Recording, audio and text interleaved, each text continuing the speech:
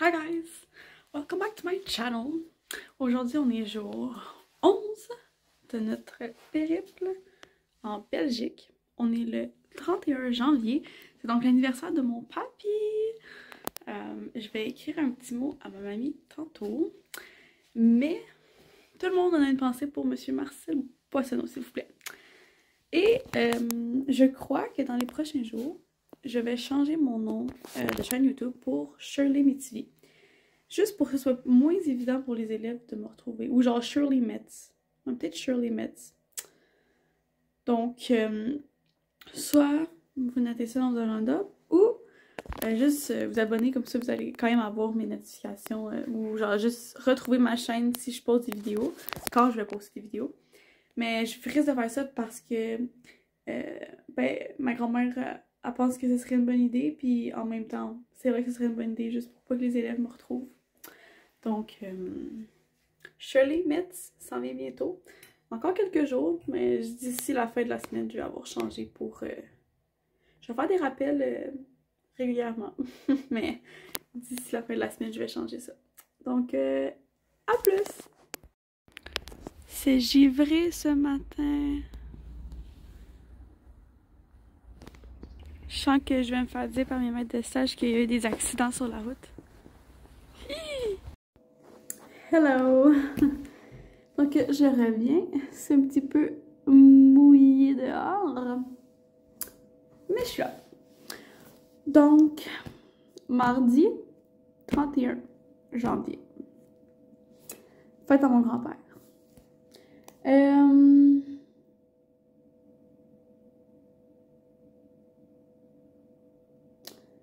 En vrai, je pense à ça, puis je pense que ma grand-mère m'a pas encore répondu.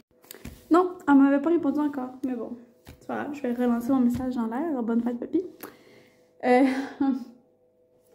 Ensuite, euh, c'était une bonne journée. Ce matin, j'ai quand même beaucoup bougé, j'ai aimé ça. Il y avait des élèves qui avaient des visites, euh, un peu des, des visites pré-médicales, non, des pré-visites médicales. Donc, euh, dans deux semaines, ils ont une visite médicale avec un, un médecin, je crois ou une infirmière. Puis aujourd'hui, c'était juste euh, des questions générales de santé, donc c'était comme 10-15 minutes avec les élèves. Et Cathy en avait plusieurs à aller voir, donc j'ai été, euh, au début, elle les a faites avec moi pour leur indiquer, mais après ça, c'est moi qui me déplaçais dans l'école pour aller les, amener à leur rendez-vous. Puis il y en a plusieurs qui n'étaient pas sûrs était où le bâtiment. C'est le bâtiment, c'est le PMS, le bâtiment qui offre un service psychomédico-social. Donc, j'ai guidé ces élèves-là vers ce bâtiment-là. Ensuite, fait les présences ce matin. J'ai noté un petit peu, euh, j'ai retapé sur l'ordinateur les notes que j'avais fait hier. Et euh, faut que j'en fasse encore d'aujourd'hui. J'ai pas vraiment fait, mais. Déjà. Ensuite, c'était euh, le réfectoire avec Cathy. J'ai aimé ça, ça s'est bien passé. Mes petits cocos, toujours. Ça passe toujours vite le dîner, je trouve. Et après, on a fait les tartines, c'est-à-dire on était sous le chapiteau. Euh, un moment plus long. Plus long pour vrai, j'aime moins ça faire ça. Je sais pas si je peux. Euh... Bon, pas de faire des choses qui sont plus longues, mais comme c'est juste, c'est pas, c'est pas trippant faire ça. Je sais pas si je peux aller surveiller le foot à la place ou. Euh... Il y a déjà des, il y a déjà des là, fait que techniquement, il faudrait pas que je là, mais. Euh, puis tu sais, Cathy était toute seule. Fait que techniquement, faut que je sois là. Non, faut que là. C'est juste qu'on dirait que c'est rien de super palpitant, puis c'est un, un long. Euh, 50 minutes. 45? Bref, environ ça, 45. Après, euh, j'ai mangé, j'ai pris ma pause de dîner de 1h20 à 2h. Et par la suite, il y a un autre éduc qui est venu proposer, euh, avec quatre de ses élèves, euh, l'assistante sociale faisait un atelier sur le harcèlement scolaire. Et moi, je me suis dit, ben quand il a proposé ça, j'ai dit, ben oui, c'est une bonne idée, je pourrais aller voir, je pourrais aller participer, je pourrais juste aller assister à la formation, à l'atelier. Puis là, euh, il m'en parle. Euh, je trouve que ça avait une drôle de forme, l'atelier. Euh, un des, des, des trucs qu'ils ont fait, elle avait fait imprimer des photos avec, par exemple, différents cas. Le premier, c'est une personne grosse puis une personne mince. Après ça, c'était de dire lequel est le plus à risque de se faire harceler et pourquoi? Après, euh, mettons, c'était euh, une personne avec l'acné et une personne pas d'acné. Quel est le plus à risque de se faire? Bon, après ça, même chose. Appareil dentaire, pas appareil dentaire. Il y en avait une, c'était euh, une famille où que les, parents sont hétérosexuels, fait que un, homme, une femme avec un bébé. Puis l'autre, c'était une famille homosexuelle, c'était deux hommes avec un bébé ensemble. Laquelle est le plus à risque de se faire harceler? Mais il n'y avait pas de suivi. Genre, on établissait lequel est le plus à risque de se faire harceler. Il n'y a pas tant de comme. Tu sais, en plus, ils utilisent genre la famille homosexuelle et la, la famille normale. Mais c'est venu, venu me chercher. C'est venu me chercher l'utilisation du terme famille normale. Une famille normale, puis une famille. Puis après ça, il y a un des jeunes que lui, ses, parents, c'est deux femmes, c'est deux femmes qui ont adopté l'enfant. Donc, euh, il dit euh, que lui, ça lui est déjà arrivé de se faire. Il y a deux autres personnes, deux autres élèves qui se mettent à rire pendant que lui raconte ça. Puis là, il y a personne qui intervenait, l'assistante sociale puis son stagiaire, il intervenait pas. J'ai dit, excusez-moi, là, mais on est en train de parler d'harcèlement. Il, il, raconte quelque chose qui s'est déjà fait harceler et vous lui riez dans le visage. Comme c'est... J'en revenais pas, puis il y a personne qui réagissait, puis j'étais... Moi, ça m'a choqué, là, j'étais pas bien, là. Ah! J'étais pas bien. Le petit gars, l'élève, il, raconte comment lui, il s'est fait harceler par rapport à ça, puis qu'il trouve pas ça drôle, puis on y rit d'en face. Non. Le reste, le reste du temps, je disais plus rien. J'ai tellement eu l'impression que mon intervention était pas adéquate, mais en même temps, je pouvais pas croire que ça se passait comme ça. Puis en plus, une des règles qui a été énoncée au début de la rencontre, c'est on rit pas des autres. Bref, c'était venu me chercher. Après ça, il y a un autre. Euh, il y a un autre. Euh, il, y a des, y a des exemples comme ça, mettons. Mais il n'y a pas tant de suivi. Genre, en fait, après, après, on établi que oui, comme ça va être la personne qui risque d'être le plus harcelée. C'est comme, ben, félicitations, vous avez trouvé la personne. Après ça, je suis comme. Je trouve qu'il manquait de chair autour de là. Il manquait de chair. Il manquait de. manquait de sensibilisation aux impacts, par exemple. On a défini un peu c'était quoi, mais et euh, est-ce que le harcèlement c'est puni par la loi? Oui. D'après qu'on a parlé de ça, ben. Oui, parce que le harcèlement peut mener à la mort. Parce a une personne peut décider de comme s'enlever la vie parce que ça devient trop, mais il n'y a pas de suivi. Il n'y a pas. Il manquait, de bien après l'os. Mais c'était pas mon atelier. Puis J'étais pas censée être là au début. Je me suis rajouté dernière minute, je me suis rajouté 20 minutes avant la présentation juste parce que je trouvais ça intéressant. Puis j'ai trouvé ça intéressant de voir ça. Mais ça m'aide pas, moi, à faire mes ateliers parce que je trouve pas que c'est. Je trouvais qu'il manquait. Il manquait quelque chose. Il manquait de. Il manquait quelque chose. Bref, c'est.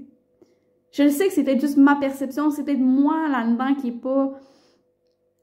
Qui est, qui est trop stické ou je sais pas, mais j'ai, j'ai pas, pas trippé après les élèves sont partis, puis j'ai dit, bon, ben, je vous remercie pour votre temps, puis, euh, ben, j'ai dit ça à l'assistante, puis à, j'ai dit merci de m'avoir inclus, euh, bonne journée, puis je suis partie, puis comme, j'aurais peut-être pu mieux faire ça, j'aurais pu prendre le temps d'exprimer euh, mon opinion, puis de discuter des choses, mais j'étais pas à l'aise, on dirait que c'est venu me choquer un peu, puis juste avant, quand on se parlait, on se présentait et tout, tu sais, justement, en voyant les photos, j'étais comme, tu sais, le sujet de l'homosexualité, comment c'est abordé avec vous, vous dans l'école, vous en général, euh, est-ce que c'est chose qu'on parle ou on parle pas?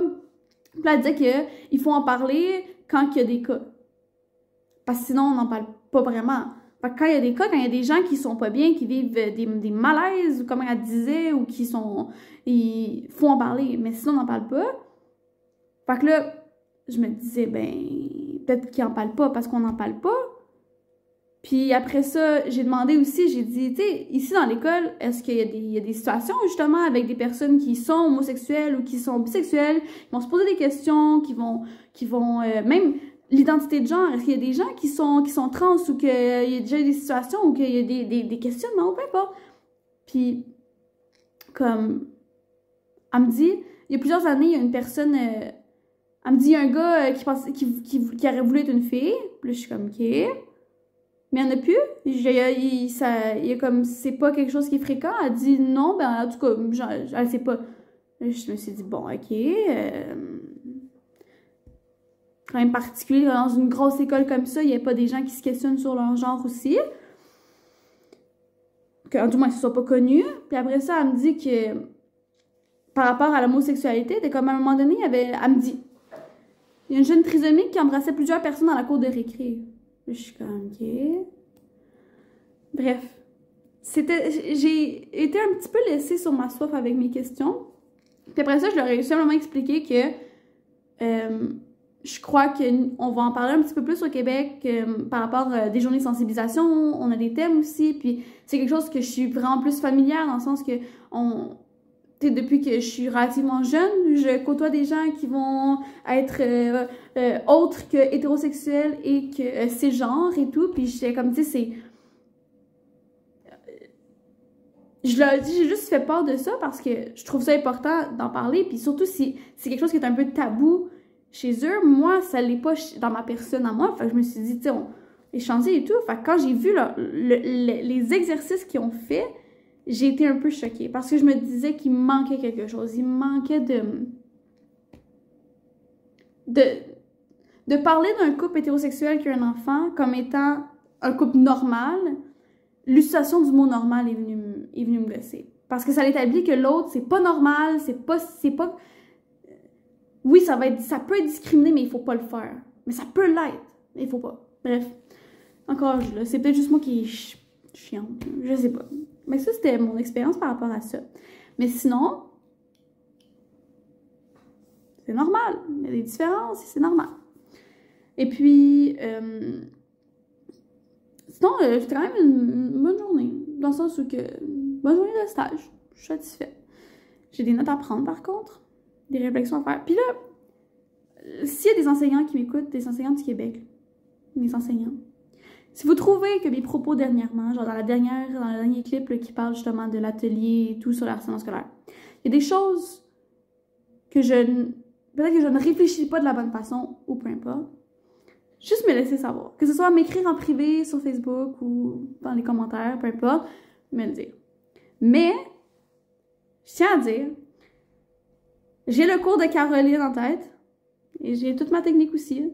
Et je ne veux pas dénigrer leur, la façon qu'ils ont enseigné, plus mentionner le fait que ça m'a fait créer des émotions à l'intérieur, euh, un peu euh, de réticence ou de, plutôt de, questionnement, et que euh, ça c'est venu confronter encore une fois mes valeurs, mais c'est normal. Genre, je le sais que c'est normal, puis je, je veux pas juger, je veux pas dire que c'est que je veux pas juger, mais ça reste que c'est comme ça que ça m'a impacté, puis c'est pour ça que j'en parle. Parce que comme ça, en en parlant, non seulement je verbalise ce que j'ai ressenti, mais en plus, ça me permet d'avancer puis de traiter comme l'information puis peut-être de me faire une meilleure tête. Fait que je suis ouverte à ce que vous me donniez votre opinion par rapport à comment est-ce que j'ai réfléchi, si c'était trop négatif ou euh, peu importe, mais si sinon, bonne nouvelle, bonne nouvelle dans mon sens, ok? Bref, donc, c'est ça. Mais, euh, mais sinon, c'est ça. Fait que ça, c'était cet, cet atelier-là. Puis, euh, encore une fois, bonne journée quand même. Euh, les petits cocos, là. De plus en plus, ils apprennent mon nom. De plus en plus, ils sont capables de dire mon nom, Madame Marianne ou juste Marianne. Des choses le fun. Parce que la, la québécoise, c'est un peu plus le fun de se faire appeler par son nom, ou, finalement, ou par madame, que la québécoise, la canadienne. Il y a même un jeune qui m'appelle l'arménienne. C'est pas le même pays, là, tu sais des fois, ça me fait rire aussi. Les jeunes vont être comme Ah, c'est euh, quoi votre pays Puis là, il y a quelqu'un qui va répondre Le Québec. je suis comme Québec, mon pays. Mais c'est ça. C'est ça. Donc, euh, Aliyev devrait arriver bientôt. Et après, on va faire le souper. Et euh, ça va déjà être la fin de la soirée très bientôt. Quelle heure? Il est 6h40. Non. Il est 4h47. Ouh! 6h47. Donc, à plus tard! Et... Ting, ting, ting, nouvelle! On n'est plus seul. Notre coloc Simon est revenu aujourd'hui. Donc, euh, nous ne sommes plus seuls, nous ne sommes plus seuls. Nous devons apprendre à nous gérer. Donc, euh, j'ai presque fini la journée. Je crois que demain, en revenant mon stage, je vais avoir du temps.